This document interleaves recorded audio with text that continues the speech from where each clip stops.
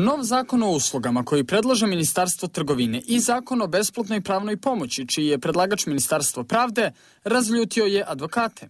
Zakon o uslugama kojim se obuhvata advokatura, Zakon o besplatnoj pravnoj pomoći kojim se predlaže da pružilac mogu biti i udruženja NVO, iako prema Ustavu besplatnu pravnu pomoć može pružati samo advokatura.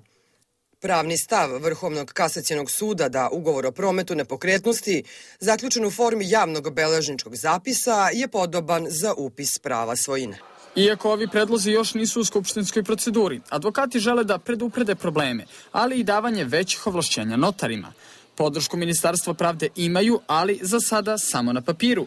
I baš zato u pozorišnoj sali Doma sindikata na repertoaru potencijalna drama. Glavni akteri advokati, jedan po jedan objašnjavaju čime su nezadovoljni. Da biste bili advokat morate da imate regularno završen pravni fakultet i sve ove ispite što sam navela i lekarsko uverenje. E, za poslanika ne morate da znate ništa i ne treba vam lekarsko uverenje.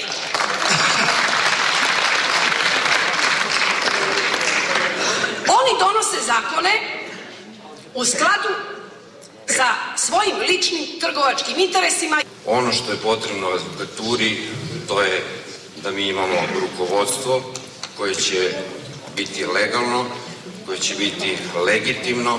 Mi smo u jednom Rasulu. A Rasulo je, kako sami tvrde, u advokatskoj komori Beograda. Naime, iako su saglasni da neće dozvoliti usvajanje spornih zakona po cenu obustave rada, Paralelno se u advokatskoj komori Beograda odvija borba za vlast. Već godinu dana nikako se ne održavaju izbori i u konkretnom slučaju reči o obstrukciji izbornog postupka od, od strane aktualnog rukovodstva koje praktično a, veštački produžavaju sobstvene istekle mandate.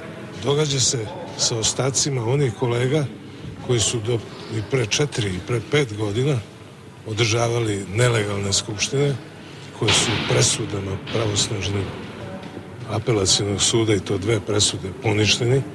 Oni su inicijatori ponovnog pokušaja da se domognu funkcija. Vanredna sednica Advokatske komore Beograda mogla bi da bude održana u aprilu, a kada bi predlozi zakona sa početka priče mogli da stignu u Skupštinu i hoće li uopšte, još nije poznato.